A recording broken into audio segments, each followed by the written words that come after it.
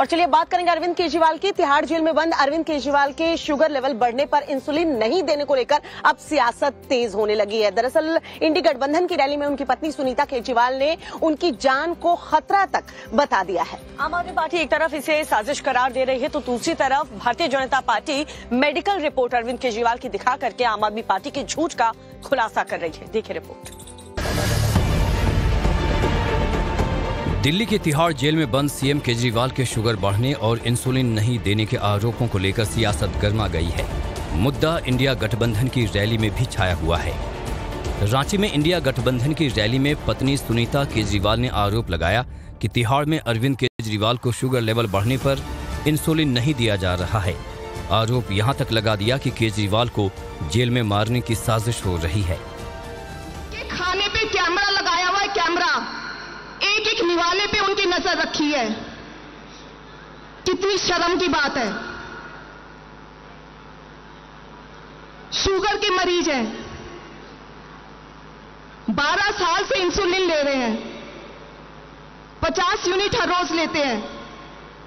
लेकिन जेल में इंसुलिन नहीं देंगे। मारना चाहते हैं ये लोग दिल्ली के मुख्यमंत्री को। सुनीता केजरीवाल इंडिया गठबंधन की रैली में बीजेपी पर बरस रही थीं, तो वहीं दिल्ली सरकार में मंत्री आतिश इंसुलिन को लेकर तिहाड़ जेल के सामने प्रदर्शन करने लगी और आरोप लगाया कि बीजेपी की वजह से तिहाड़ जेल सीएम केजरीवाल को इंसुलिन नहीं दे रही। उनका शुगर लेवल 300 के ऊपर पहुँचा हुआ है। आप दिल्ली और देश छोड़िए आप दुनिया के किसी डॉक्टर से बात कर लीजिए वो आपको बता देगा कि 300 के ऊपर का शुगर लेवल बिना इंसुलिन के कंट्रोल ही नहीं हो सकता है। लेकिन तिहाड़ प्रशासन ने भारतीय जनता पार्टी के इशारे पर इंसुलिन देने से मना कर दिया है। कह रहे हैं कि हम इंसुलिन नहीं देंगे, उनकी इंसुलिन रोक दी है। ऐसी क्रूरता तो अंग्रेज़ों के जमाने में भी नहीं होती थी, जो आज की जा रही है। केजरीवाल को तिहाड़ में इंसुलिन नहीं देने के आरोपों पर बीजेपी ने भी आम आदमी पार्टी पर पलटवार किया और मेडिकल रिपोर्ट का हवाला देते हुए बताया कि केजरीवाल इंसुलिन जेल में आने से पहले ही छोड़ चुके थे।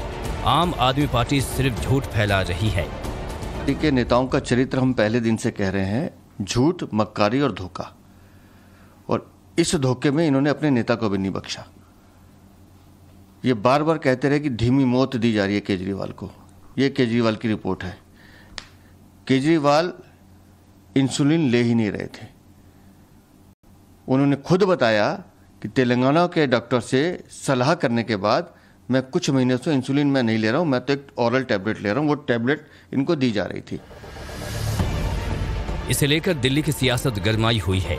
वहीं दिल्ली सीएम अरविंद केजरीवाल को जेल में इंसुलिन देने और उनके फैमिली डॉक्टर से रोज वीडियो कॉन्फ्रेंसिंग से कंसल्ट करने की मांग पर राउज एवेन्यू कोर्ट आज फैसला सुनाएगा।